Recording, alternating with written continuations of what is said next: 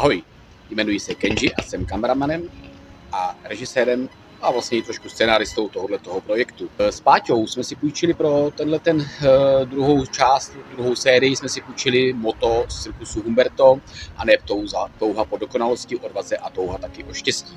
My se budeme snažit v tomto sérii, v této druhé části, sami sobě porovnat to, jaké to bylo před třemi lety, když jsme natáčeli první díl po stopách sedmi parašutistů.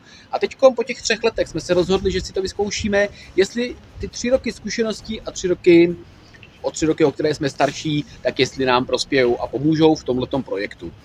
Inspirací nám bylo samozřejmě komiks a taky samozřejmě eh, speciál Antropoid od legionářského směru, kde je spoustu, spoustu zajímavých informací, které se vám budeme snažit předat.